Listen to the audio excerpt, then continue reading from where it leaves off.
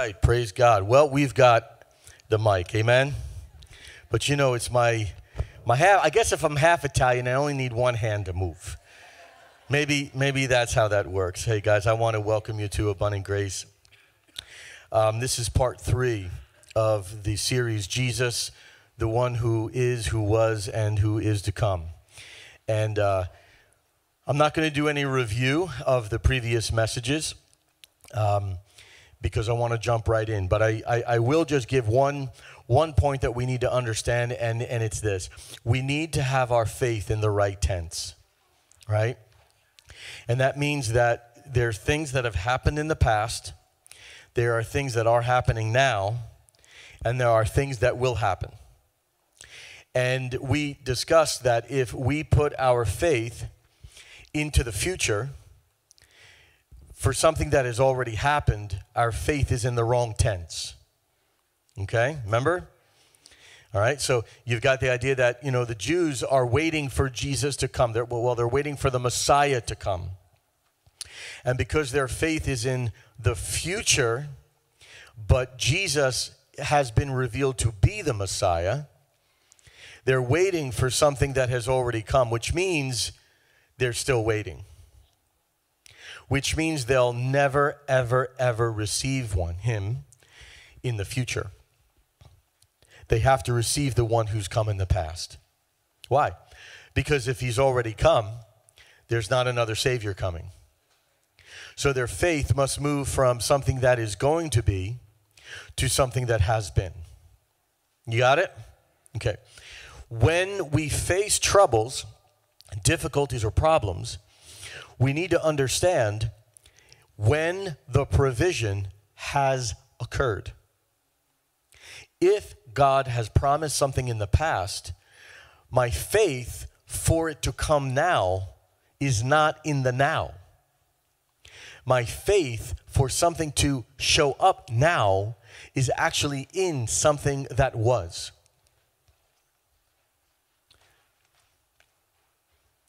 This is major. Because many times as I'm pastoring and I'm helping people, and even in my own life, I'm looking and I'm, I'm realizing we're asking God to do something He has already done. When I ask God to do something that He's already done, it means I have not believed what He's done. If I don't believe what He's done, then I'm not receiving what He can do because I'm assuming He hasn't done it. So, what we're going to do today is, and, and this is what I shared last week, we're going to actually look at the scriptures in multiple places to see if we can find this problem. Because if we can find the problem, we can fix it. And if we can find the solution in the word, then we could adhere to the solution. You know what's going to happen? Your prayers are going to be answered. Okay, that's kind of like the key. It, it, it doesn't matter if you pray, really if you pray in disagreement with his word.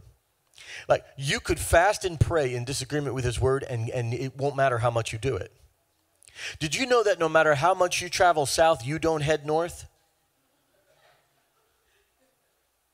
But people say, "Well, I'm going to I'm going to I'm going to travel more." No, you're going in the wrong direction. Yeah, but if I do it with all my heart, God will see. No, you're still going in the wrong direction. It's like the poor businessman. Every unit he sells, he loses money. He says, Don't worry, we'll make it up in volume. You're not going to make it, well, we sold a lot. No, you lost more money.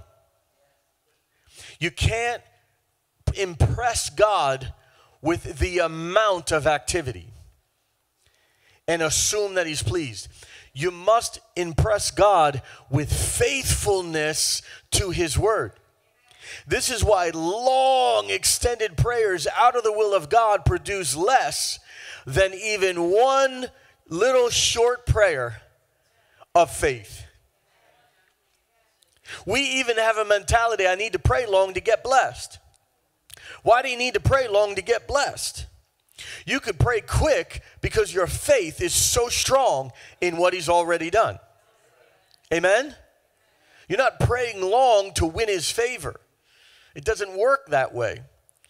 The compassion of God is there for us, but the provision of God is not because of his compassion only. A lot of people think, well, because God has compassion on me, he's going to answer my prayer. No. No. This isn't biblical. Let me give you a description. The compassion of God provided the solution. We now need to grab the solution. When you grab the solution, the provision, you grab the compassion. But if God has compassion and He does something for us because of His compassion, but we don't believe what He did, we're not receiving His compassion. So we just assume because I have a problem, He's going to bless me because he has compassion on us. No, the compassion brought Jesus. What do you need to do? You need to eat his flesh, you need to drink his blood. Let's talk about being saved. For God so loved the world that he gave his only begotten Son. That's the compassion. That whoever believes in him will have eternal life. There's the response to the compassion. Isn't that beautiful? It's so simple, isn't it? But we're expecting God to do everything merely because we're having a difficult time. And I want to explain to you that He sent Jesus because He knew of our difficulty. His compassion for us should never, ever, ever be questioned. His compassion gives the provision, but you need to receive the provision. I need to receive the provision. So, you ready to dive in? All right, let's go to the book of Numbers. I'm going to cover Old Testament and New Testament. If you have ever heard anyone say, any teacher, preacher, Christian, that the Old Testament is not needed today, I would recommend that you would close that teaching down. It is out there. It is out there actually by some well known people. The Old Testament is vital it's important and it's relevant. But what are they doing?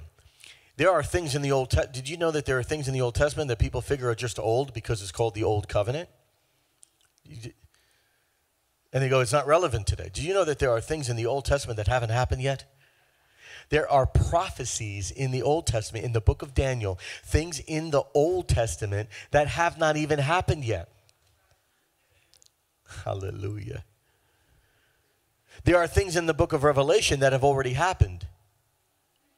But we assume that Daniel is old and Revelation is new. Revelation is speaking about things before the earth was around.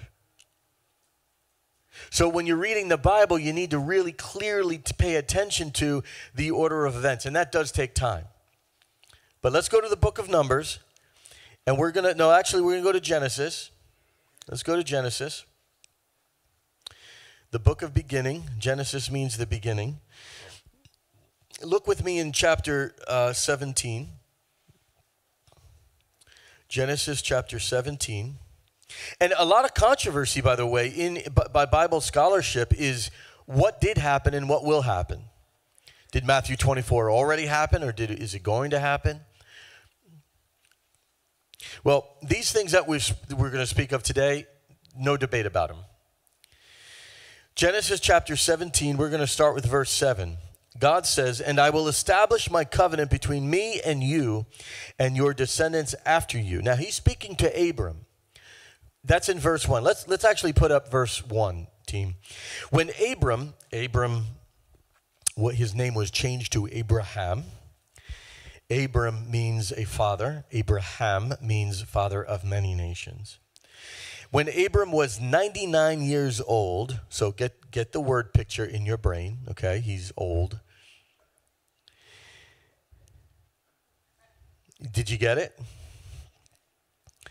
The Lord appeared to Abram and said to him, I am Almighty God. There it is, I am. We, we, we studied this last week. Jesus is the I am. He's the in the past, in the present, in the future, all at the same time. He says, I am Almighty God. This is what the Lord is saying. Walk before me and be what? Blameless. And I will make my covenant between me and you, and I will multiply you exceedingly. Then Abram fell on his face, and God talked with him, saying, As for me, behold, my covenant is with you, and you shall be a father of many nations. My covenant is with you, present tense. My covenant is with you. My covenant is with you right now. You shall be, future. You catching it? My covenant is with you because my covenant is with present tense in Genesis 17 back then, okay? And you shall be, future, a father of many nations. No longer shall your name be called Abram, but your name shall be Abraham, for I have made you a father of many nations. Look at the text. This is really, really interesting because if you if, you were an English teacher and you didn't have the Holy Spirit, you'd think the, the writer, the Moses uh, recording this, is, is, is doing something very wrong. He's not. This is revelatory. This is what God is saying. I am Almighty right now. My covenant is with you right now. You shall be a father of many nations. But your name is going to change, he says, right? Verse number five No longer shall your name be called Abram, but your name shall be Abraham, for I have made you a father of many nations. Hold on, wait, wait, what? Did you, you, you got it? Wait, I am Almighty. My covenant is with you. You shall be future because I have made you. Wait a minute. But I don't have any children. My covenant is with you. I have already done it. You just don't have it yet. Oh my gosh. Are we in past? Are we in present? Are we in future? we have all three represented in the text. You see how closely you need to read the scripture. Abraham needed to be in agreement with God. Abraham needed, the provision is there, but not yet. You see, the prophetic nature of things is already, just not yet. We have churches planted in so many nations in the entire world, hundreds of thousands of them. Just not yet. Okay, we, we, we have them in nations, but we, we don't, we, we have leaders in nations, but we don't have the fullness. Why? But do we have it? We have it. What are you waiting for that you already have? Because if you're waiting for something you already have, that's active waiting.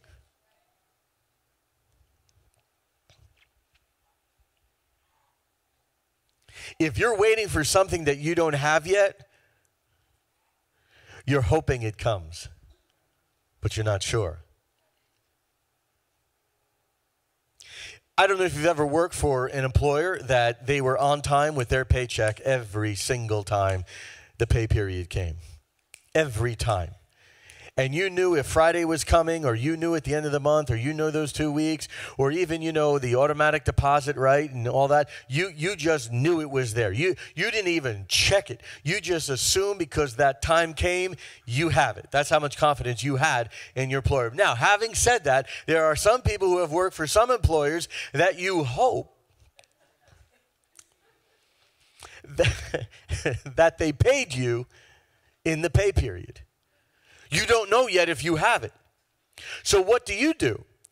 Before you spend the money, you go and check did I get paid?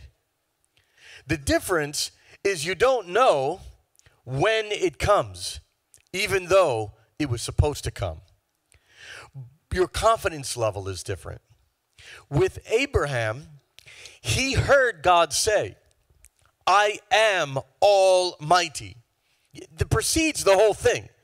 It starts with, I am almighty. Nothing is outside of possibility for what I can do in righteousness. My covenant is with you. Because my covenant is, you have been given it already. Because my covenant is made present, you have the descendants. People say, I don't have any descendants yet. God says, You have the descendants. I don't have the descendants. No, I made covenant with you now. Which means you don't have what you see. you have what has been covenanted to you. You should underline that, bold that, score it, circle it, do something. Tattoo it on your turtle. You don't have what you see. You have what he has covenanted with you. How many people are saved? You should put your hand up if you believe in Jesus. If not, you got to see me after service. Salvation, you have it now. For God so loved the world that whoever he, uh, I'm sorry, for God so loved the world that he gave, past tense, gave his only begotten Son, that whoever believes, now, present tense, will not die but have everlasting life. There's three tenses in it. I'm telling you, when, if you get this series, you're not going to read the Bible the same. You're going to be looking closely at each tense of Scripture. God has given Jesus. If you believe now, you shall be saved. Meaning, when your body is done, you have eternal life now because you believe now, but when you die, you're not going to die. You have it now, but you don't have your new body. Here, look at this. We have been saved, we are being sanctified, we will inherit a new body. Some of you wish you had your new body right now. Going to be awesome, right? That new body, come on. I got to preach about the new body one day. Because you know, like it you we inherit a perfect body. Like we're going to be living in the new heaven and the new earth with new body, no aches, no pains, no Come on, Eva, right? Right? Whew. And you know, good food. Yeah. And there's drink too. There's all delicacies in heaven. Jesus said, I'm not going to drink this until. People think we're all floating around in heaven. Guys, no. We're also working in heaven too. Yeah. All right, back on today's message. I started to get excited. So, we believe in salvation, but we're still in these earthen vessels. So, the very, uh, the, the very center of believing God for salvation re- requires you to believe something now, receive something now that has not fully come to pass. Are, are, are you getting it? But when you have the covenant, you have it now. But you didn't see your new body, but you have it. I have a, um, I have a home in the heavenly realm now. But I'm not living in that yet. I'm living here. But when I leave this body, I'm going to move. Talk about an upgrade. Come on. No real estate tax on that puppy either. Come on.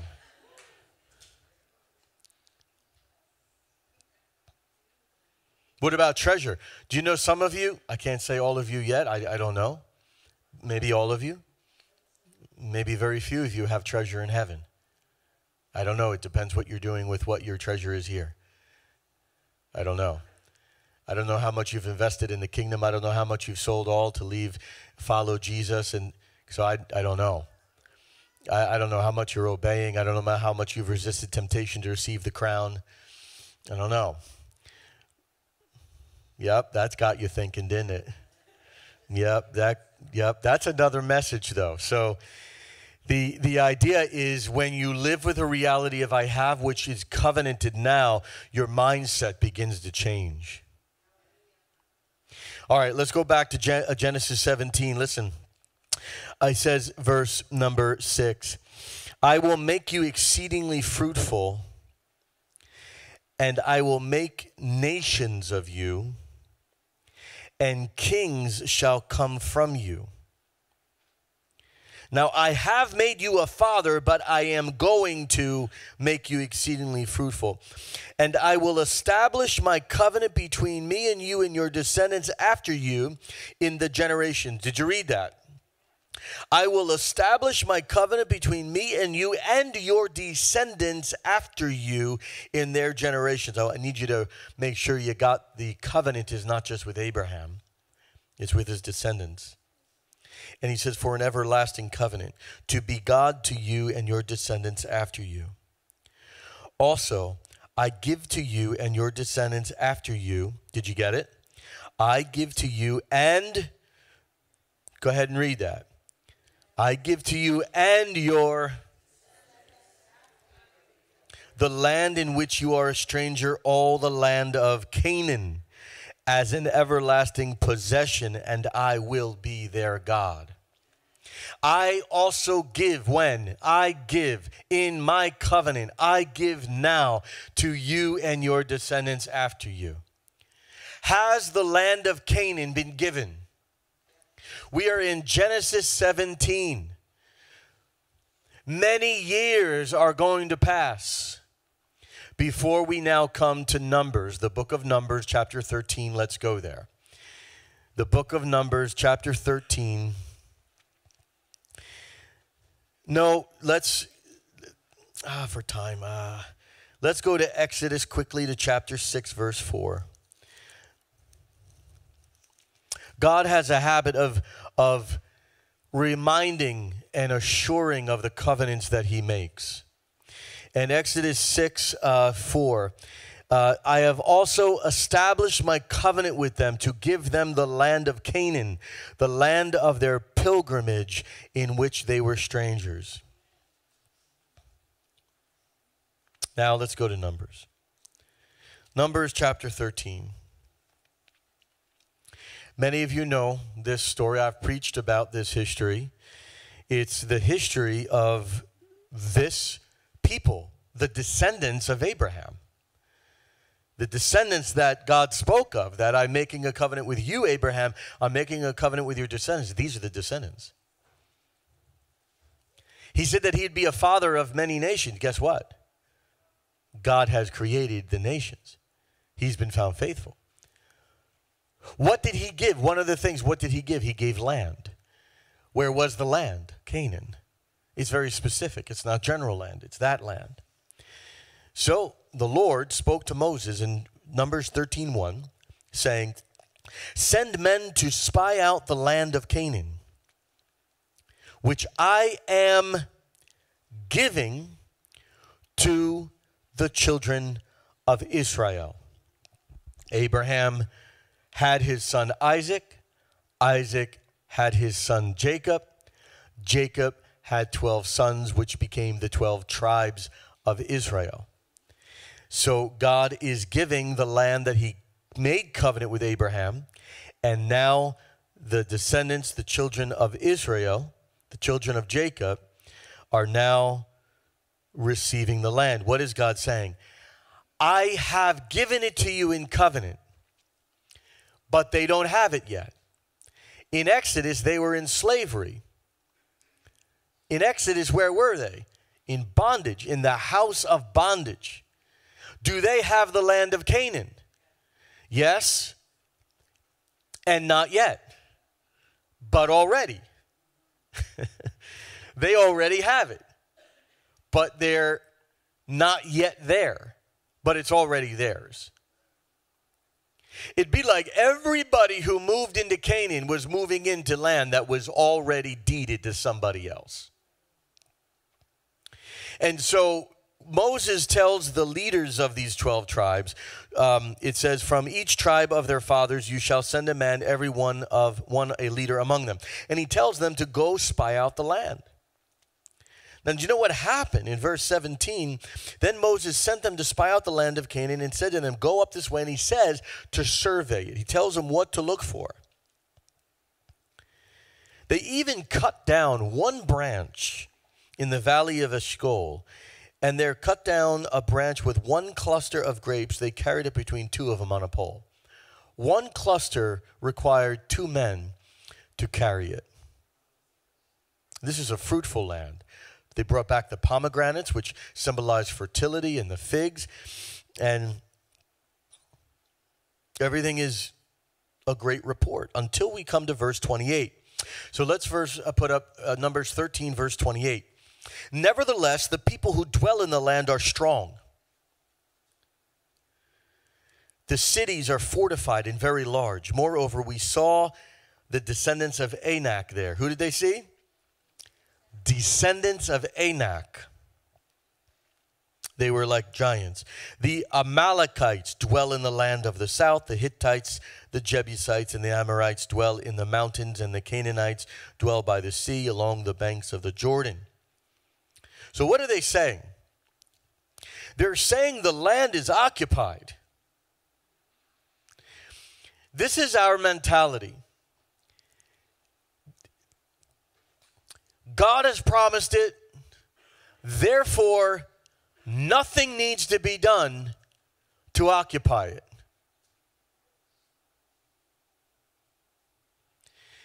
But when they got to the land, they realized their land is fully occupied by people bigger and stronger than them in the physical.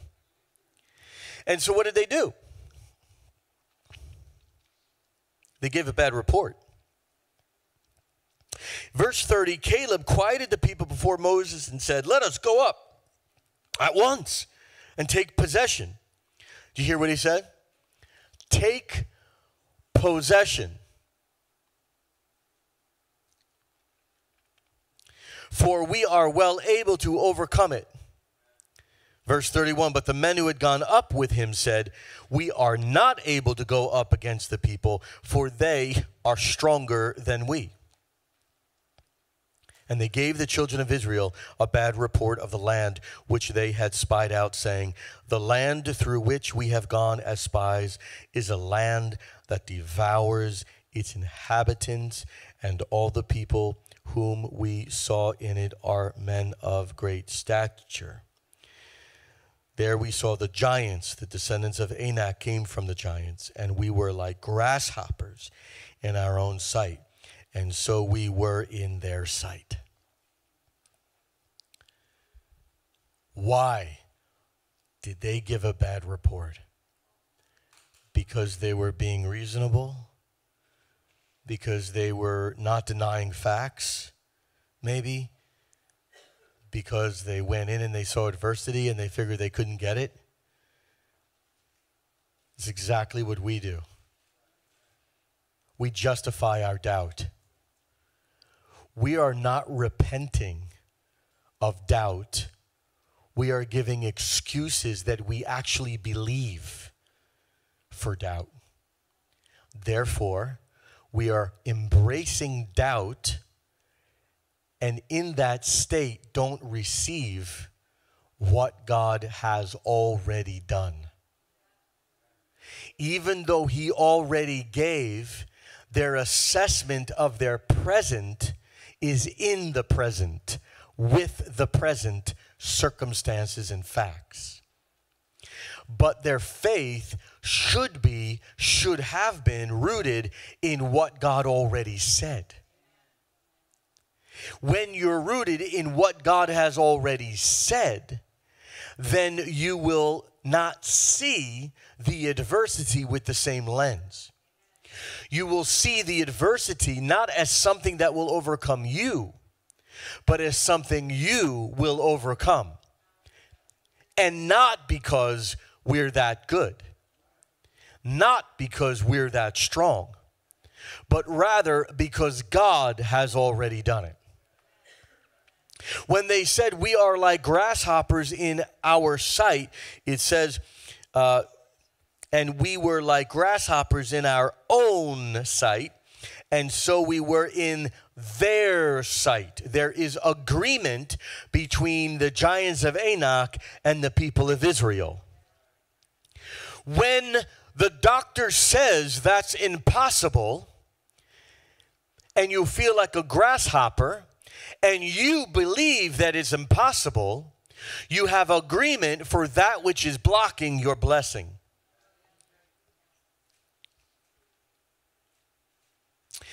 The giants of Anak were bigger than the descendants of Israel. Agreed? Physically, mentally, uh, um, physically in stature, right? And mentally, they're in agreement that they're smaller. The giants of Anak do not know about the covenant made in Genesis. So the giants of Anak are assessing Israel's strength based on the now, not based on the then. Why? Why is this important? Because the God who made covenant is so much infinitely bigger than the giants of Anak. That if the giants of Anak saw the size of God, that he is, I am Almighty, then the giants of Anak would have been the one that would have become grasshoppers in their own sight.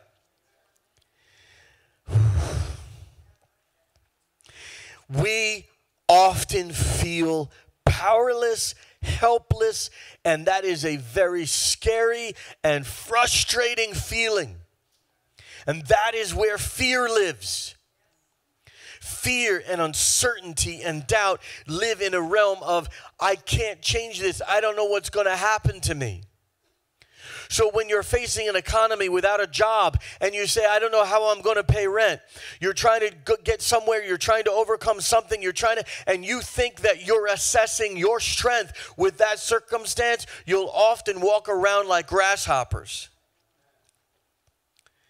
And what's amazing is the people that want to influence us in the world love when we think we're nothing but grasshoppers because they will lead and manipulate weak minded people.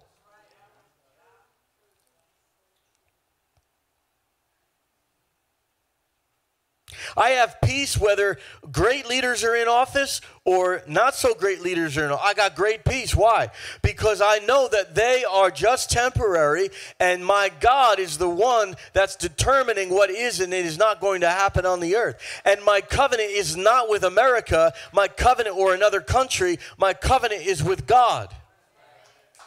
Now, that doesn't make politics unimportant. It just means at the end of the day, there's a bigger throne. Amen? Now, everybody says amen to politics, but what about the doctor's report?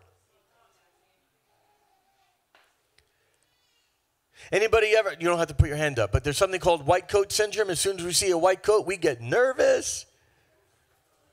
There's something spiritual going on about that. And yeah, there, there, there's experiences that we have, but you know, there's a lot of things that when you look and you're saying, God, why do I fear man? Why do I fear man? Why am I so concerned about what other people think? Why am I concerned about what the experts say? They're the giants of Anak in theory. And then we're made to feel terrible. Has God not already sent Jesus? But why do we not believe in who he sent? Because he says, I am God Almighty. It is not, I was God Almighty. He is not dead, he is alive right now. Right now. But they forgot that God had made covenant. can't forget what God has done. And sometimes those circum uh, listen, I'm going to encourage somebody right now. Sometimes the things we're praying to change feel like unmovable mountains because we've been really trying to move that mountain. I don't know about you, but man, I've prayed for some things, and there's some things that that mountain hasn't moved yet. But that mountain must move. Why? Because it was already promised to move. Just because I prayed yesterday and it didn't move today doesn't mean it ain't moving tomorrow. Because the thing that's moving it isn't determined on today. The thing that's moving the mountain is determined on the thing that happened many days ago. Hallelujah. So this gives me hope brand new day, brand new prayer, brand new fresh start. The thing must move. Why? Because it was promised to move if I would believe.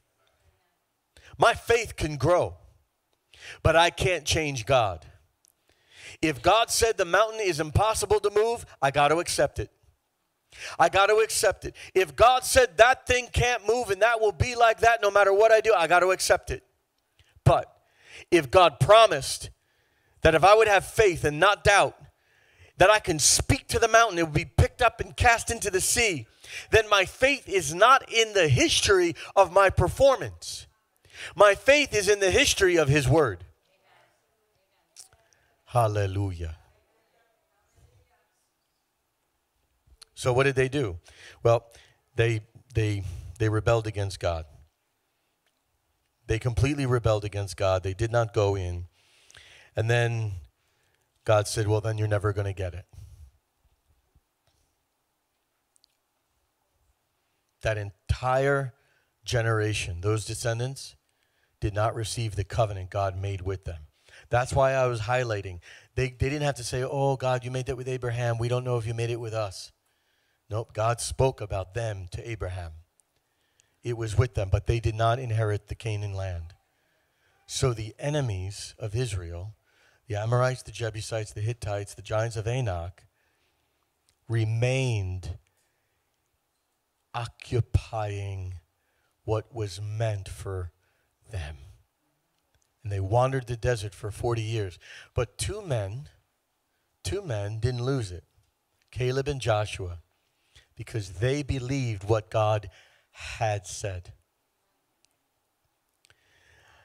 We have to consider this question Is my life lacking now because I'm like the other Israelites? Is my life lacking now because I haven't really received what God said? Is my life lacking now because I say I believe it, but I really don't. Well, you read the scripture and you try to figure out the answer to that question.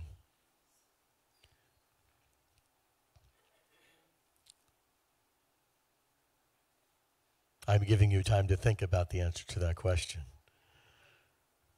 Want to know something really awesome? whether you have the answer to your prayer now, I'm going to diffuse and say that's not as important as to ask you what you're believing now. If I am believing that the mountain will move, but it hasn't moved, but I believe why it will move, then even though it hasn't moved, it's okay. It's going to move because my faith isn't in the mountain, it's in the one who said I can move it. Is this making sense? You want to go to another example? Let's do it. Let's go to the.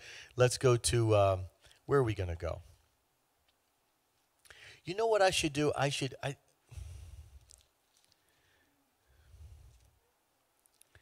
Let's go to Genesis. Before before we leave here, we're we're, going to go to Genesis. And and what did what did God tell what did God tell Abram, Abraham, that he had to do? Um, God told Abraham that he would have to sacrifice his son, correct? I'm not going to go to the text and read the whole thing now. But God told Abram, Abraham, that he would have to sacrifice his son. That means he, he would have to offer him as a burnt offering. In other words, he'd have to kill his own son. And a lot of people say, you know, how could, how could that happen? Verse 22, uh, chapter 22 of Genesis, verse 1. Now it came to pass after these things that God tested Abraham and said to him, Abraham. And he said, Here I am. Then he said, Take now your son, your only son Isaac, whom you love, and go to the land of Moriah, and offer him there as a burnt offering on one of the mountains of which I shall tell you. Verse number three. So Abram rose early in the morning. He didn't even delay. Now, listen, there was a program, I think it's called the Bible Experience. And I told you that, you know, many times I don't like watching any dramatic versions of the scripture because they take and put human flesh and they put it into the dramatization. And frequently, when I see this, they're appealing to human beings. The scripture is appealing from God's perspective many times. And when the when the when Hollywood, thank you, when Hollywood creates these things, it doesn't often understand God. And it assumes that a human being, if they hear that they have to kill his son, would be in torment.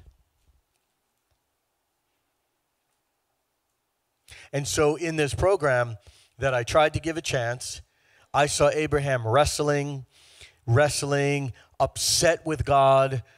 You know, oh, how am I going to? It's not in the scripture. It's not in the scripture. They were representing, oh, yeah, that must have really been hard. Why? Because they're identifying with an Israel that forgot what God promised. Doubters. You know, I, I, was walking the other day. You, you, know, I was looking up at the sky. You know, because God's part of God's footstool in, in you know the first heaven. And I was I was walking and I was just thinking, and I'm like, Lord, we are saturated with doubt.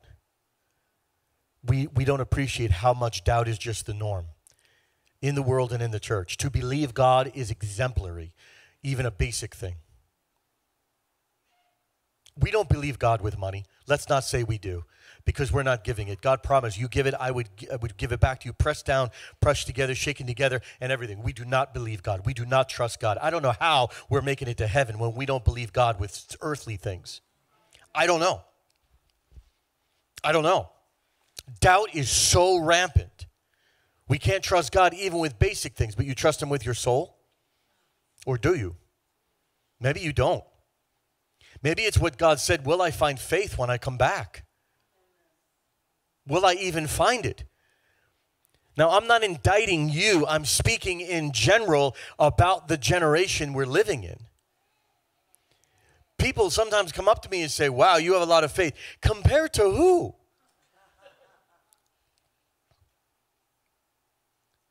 My faith is growing. But I was commanded, and you were commanded to lay hands on the sick. That's not exemplary faith. That's an unprofitable servant. When you do what you're commanded to do, you're still unprofitable. We were commanded to raise the dead.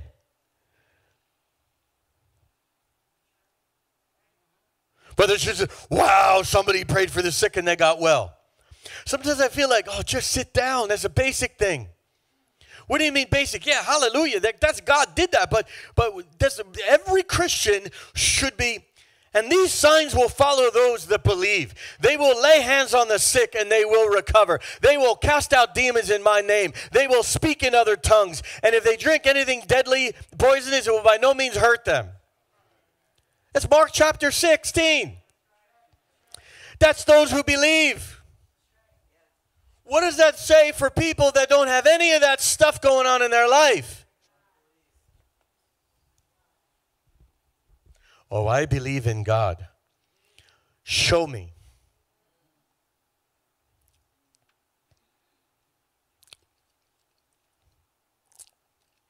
Hallelujah. Do you know why I have faith to pray for the sick? It isn't because of me, because man, once I look at me, I am in trouble.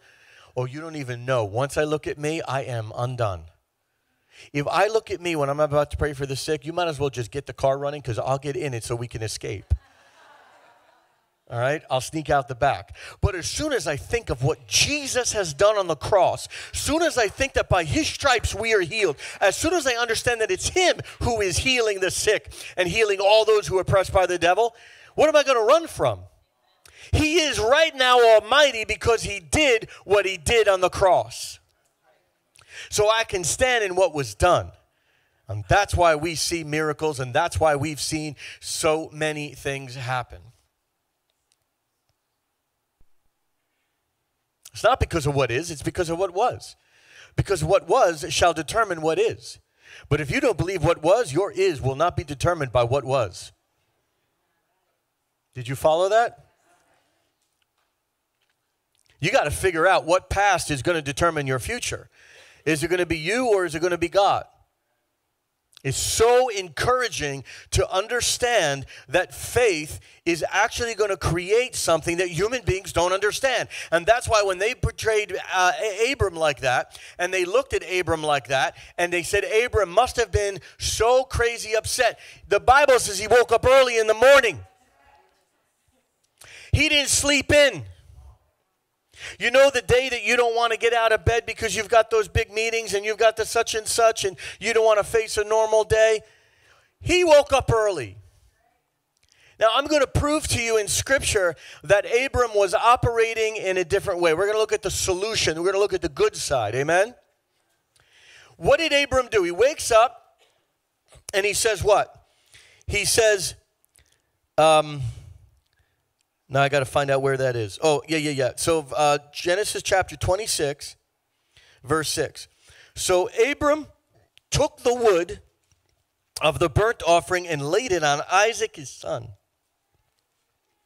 And he took the fire in his hand and a knife, and the two of them went together. But Isaac spoke to Abraham his father and said, My father. And he said, Here I am, my son. Then he said, Look, the fire and the wood, but where is the lamb for the burnt offering? I mean, this is an intense question. It's like they prepared everything, but there's no animal. So Isaac says, Okay, what's going on? We got everything but the main thing. Jesus. Verse 8 Then and Abraham said, Who said? Say it again. It's not Abram. His name has already been changed. Oh, come on, somebody. His name is not Abram, it's not father, it's Abraham. It's a father of many nations. Why? Because God has already done it. How many sons does Abram have? Abraham have? One. So Abram was changed to Abraham so his very name is his covenant. Amen. And then Abraham only has one son. Abraham has one son, but Abraham means he has multitudes of descendants. And Abraham said, The one who has many sons said, My son. You get the power of that? My son, my only son, right? God will provide for himself the lamb for a burnt offering. So the two of them went together. Listen to Abraham's answer. He doesn't say anything except what God will do. Oh, he says what God will do. He says what God will do. He's obeying the commandment, but he says what God will do. And it says, verse 9 so the two of them went together. How many? How many? Okay. Now, I'm going to take you into the past now because I'm going to highlight something in verse 3. So Abraham rose early in the morning and saddled his donkey and took two of his young men with him and Isaac his son. How many men are with him? Three.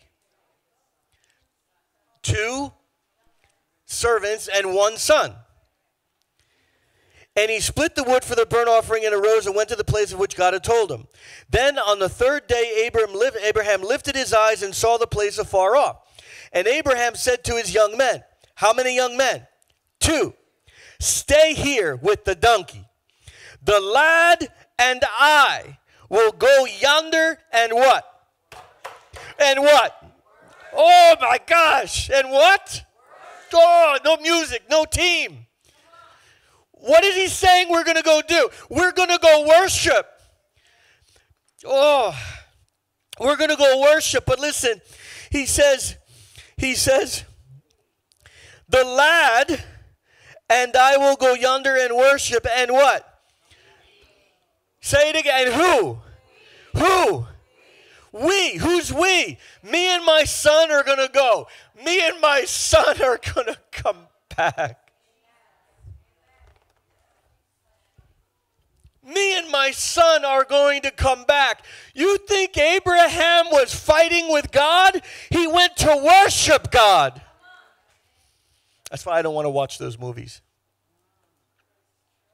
Because the scripture doesn't bring me into a normal human response to having to kill your son. It brings me into a supernatural faith of a man who believed God covenanted him and changed his name from Abram to Abraham.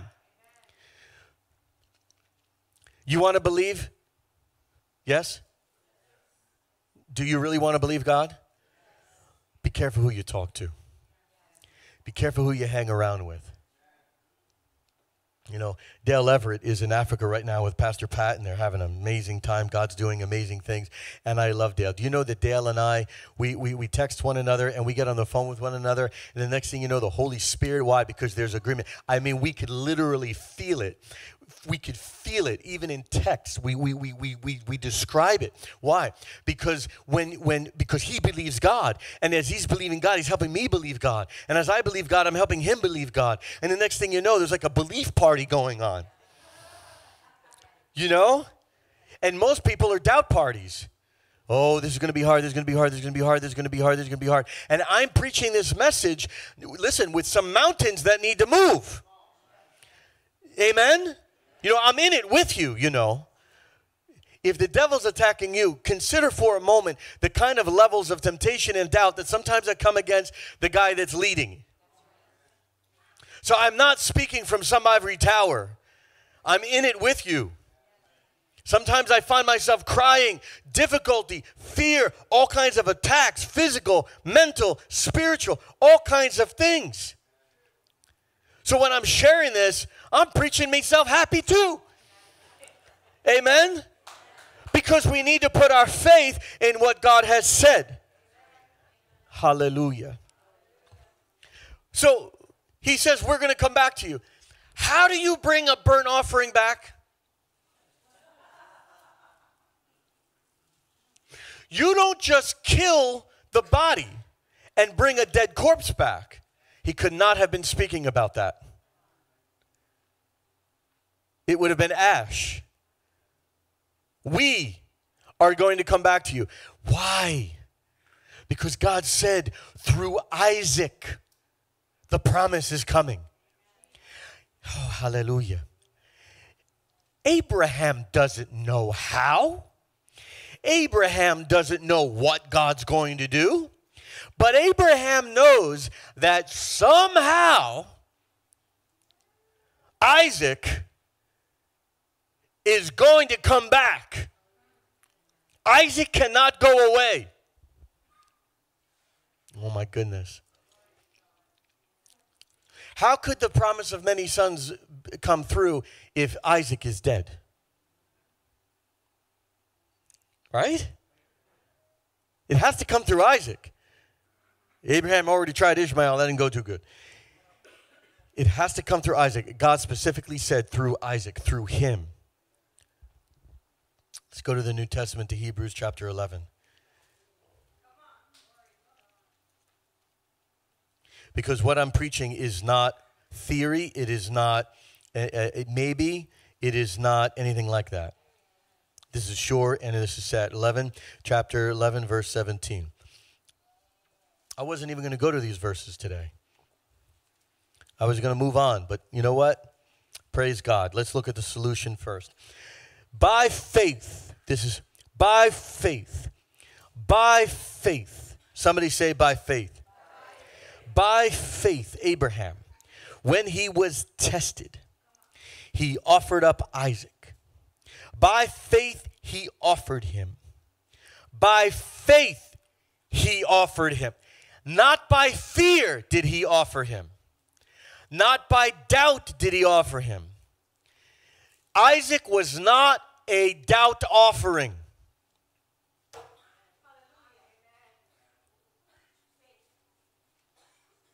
Oh, so much to share.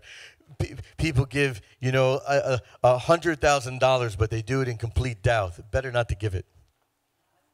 Better not to give it. But I gave a hundred thousand dollars. You gave a doubt offering, or maybe it was a guilt offering.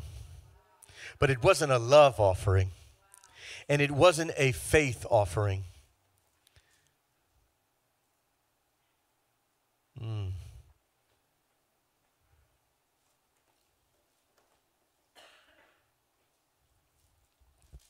Let's listen. So he offers Isaac in what? Faith. Faith. Faith. Not disgruntled obedience. Faith.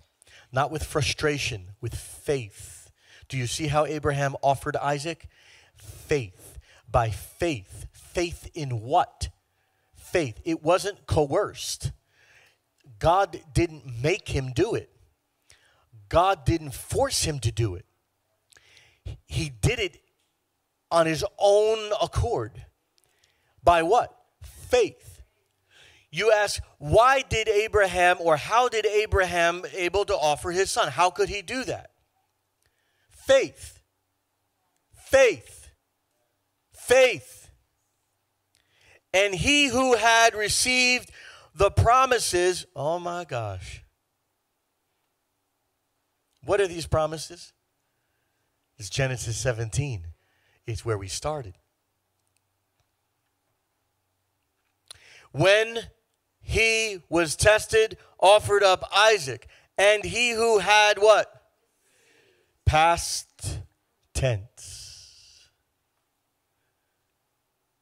When did the testing come? After the giving of the promise. Oh, church. and he who had received the promises offered up his only begotten son. Look at the tense. Because he received the promises, past tense, he offered.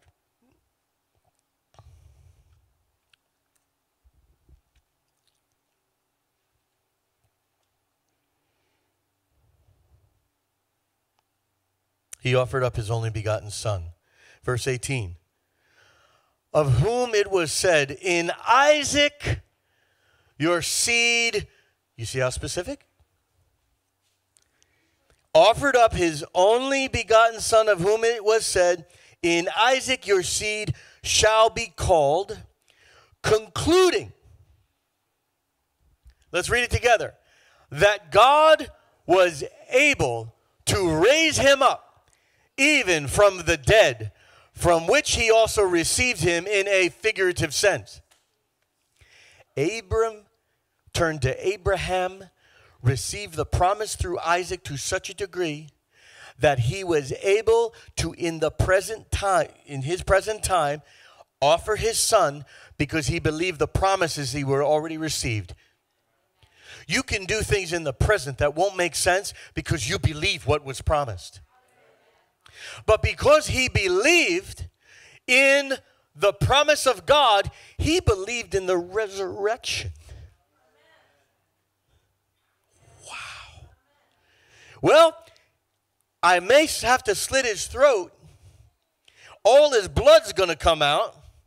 Then I have to burn him. And then he's going to be nothing but ash. But it's all okay because God's able to raise him up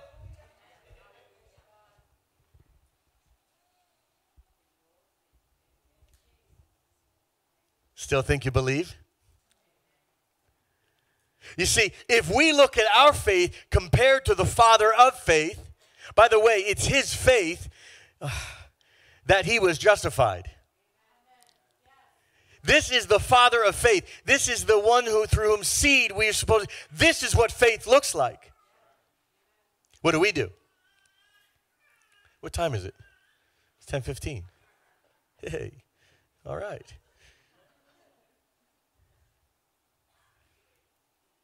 Let's let's put up the graphic that I that I had uh, that I had sent. There's a lot going on here, but the promise of God comes. We're going to move from left to right. The promise of God comes through His Word. God fulfills His Word, then circumstances come. God speaks His word, God fulfills His word, then circumstances come, and then we have to figure out what are we going to do?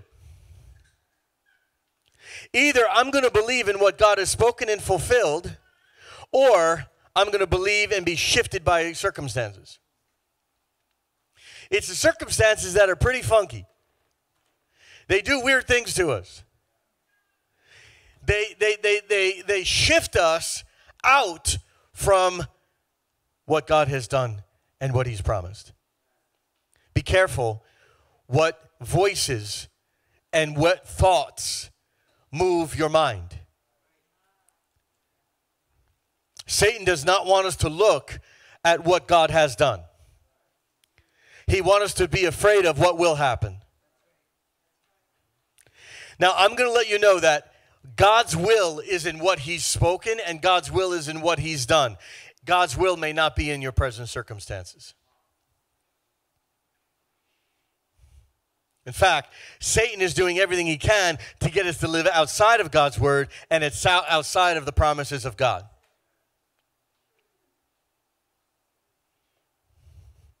And then, if we if we're moved by those circumstances, then we have a faith first doubt reaction here, don't we? So, if you look at this graphic, we have the number one option is be, God never promised it.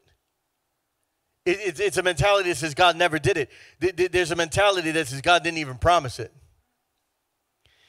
Then maybe God promised it, but it's never been fulfilled. Well, if it has been fulfilled, then the green, you get these are red.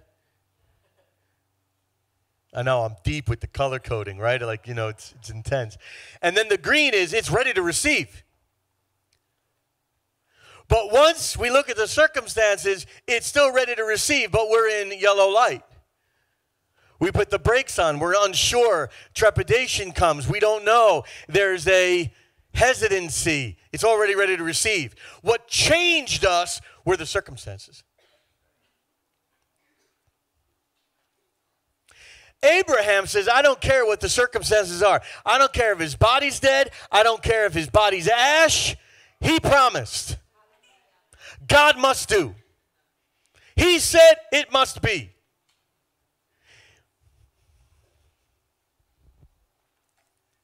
Hallelujah. I'm telling you, this will start to jack your faith up real strong. Am I allowed to say that? I, I, what I mean, I don't know what that means. I mean, I think I'm meaning to say, make your faith very strong. Let me be safe. Circumstances are up and down. God's word is not up and down. Sometimes I've prayed for healing and my body feels pain. I can visibly see something's not right.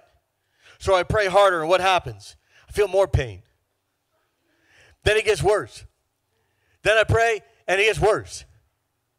So, what's the assumption? My prayer is not working. Could it be that my prayer is actually kind of like starting to have some impact, but the circumstances keep getting worse? This is where your faith is a flight or a fight. And you go, it's not working. And then where do, what do we begin doubting? God must have never have done it. I guess we misunderstood what, what the Bible says. Yes, God doesn't heal today. Let me go back into that camp with the doubters that haven't read his word. Many are there. Many are there.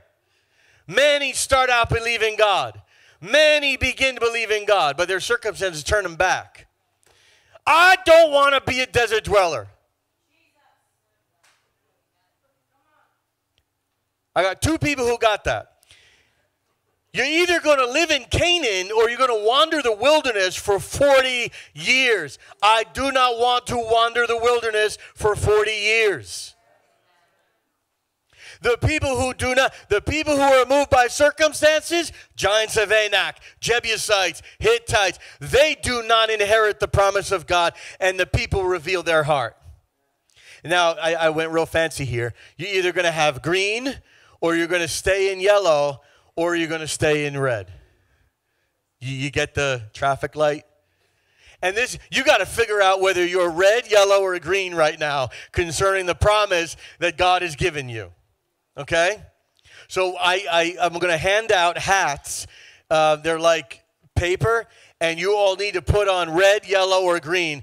Walk out of here and have people wonder where you are. All right? John, can you go get the hats for me? I don't have the hats. But wouldn't it be cool to see the people who are hanging in depression? They're all wearing red hats. Could you see the people that are like, like not aren't hopeless, but they're really downtrodden, but they're really trying? They have yellow hats. And then you'll find the worshipers be like, "Oh, God is good, baby. God is good." They're all wearing green hats. They have joy. Nobody had any circumstances change. It's just whether you're living in the red, the yellow, or the green.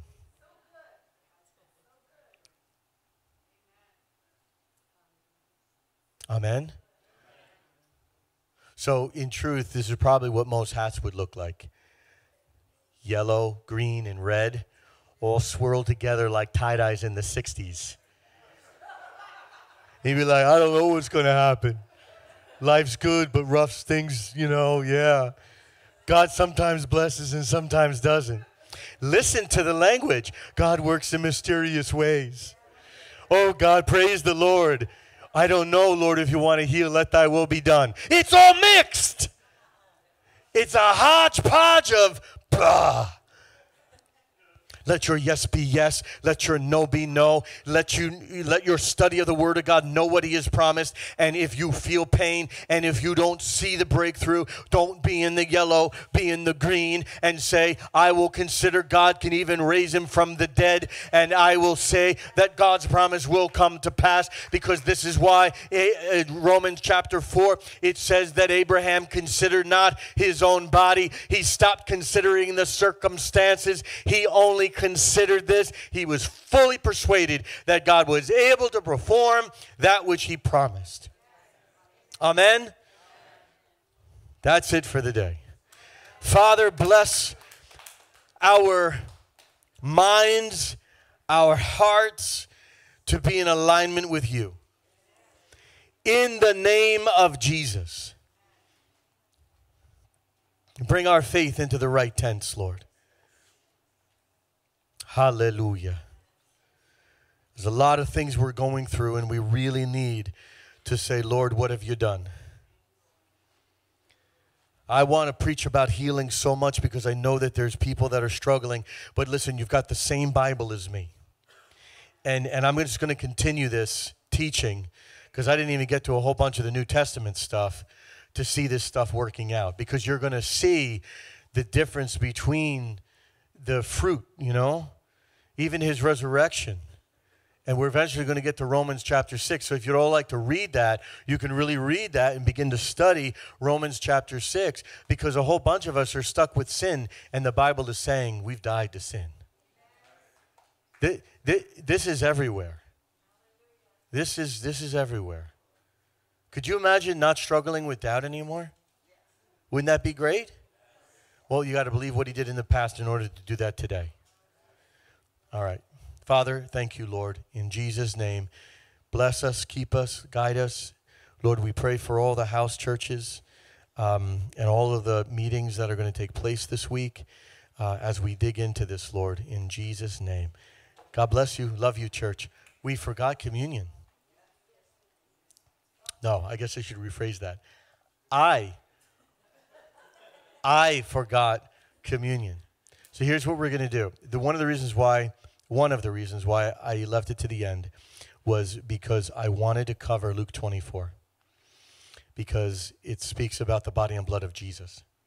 And so I wanted to take the, uh, the Lord's Supper with the remembrance of what he's done. But I didn't get to minister to that today. So we'll, we'll work on that next week. Amen? Isn't that awesome? Amen? Hey, hey, can I tell you something? Do you know you can still have communion today? like moms and dads, like, you know, in your home, you could like take the elements and read the scriptures and you can pray. Did you know that you could do that? Did you know that you don't need an ordained person to do that? Hallelujah. So you go at it, okay? Love you so much. God bless you, church.